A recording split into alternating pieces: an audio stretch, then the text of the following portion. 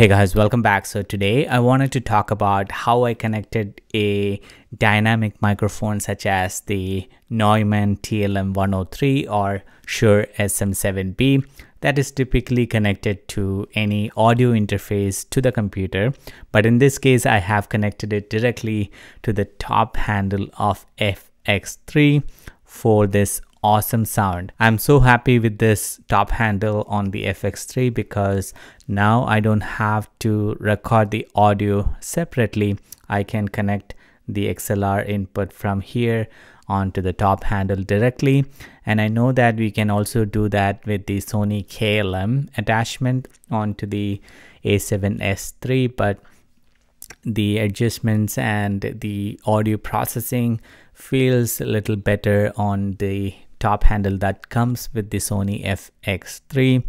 Until recently, I was using the other digital mic from Sony, but when I switched over to the shotgun option that I can connect onto the top handle when I am vlogging or if I am not sitting at my desk or when I am at desk, the option to connect this mic directly onto the camera and get awesome sound that is game changing. It makes the workflow so easy. So let me give you a quick comparison of how the sound difference is between the ECM short mic and the shotgun mic that i used with the top handle. So let's get started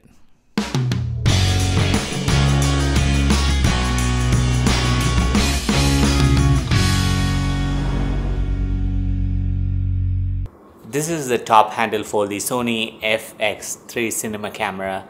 And the good thing with having a top handle is that you can attach any shotgun microphone on top of it and then you can get a awesome quality sound. You don't have to have this wind muff uh, but right now what you're hearing is through the digital uh, EC ECM B1M microphone.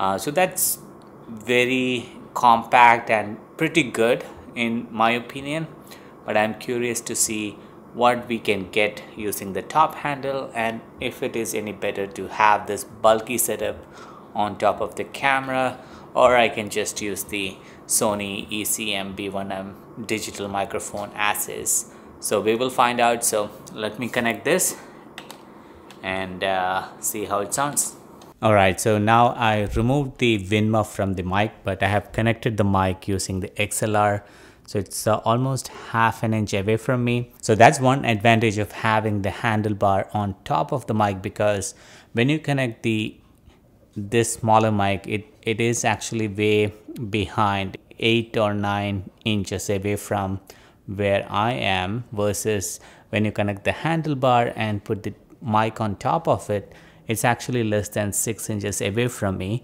So obviously when you have the mic closer you get always better audio. So that's there but you have to have the top handle to connect the mic. And right now what you're hearing is from the Sennheiser MKE-H416 and uh, previously I was using the Sony digital ECM B1M uh, so just check your comparison to see is it worth to have the top handle and have this shotgun microphone or is it just easy to carry the smaller piece and you know maybe have 90% good audio? So that's what i'm trying to find out.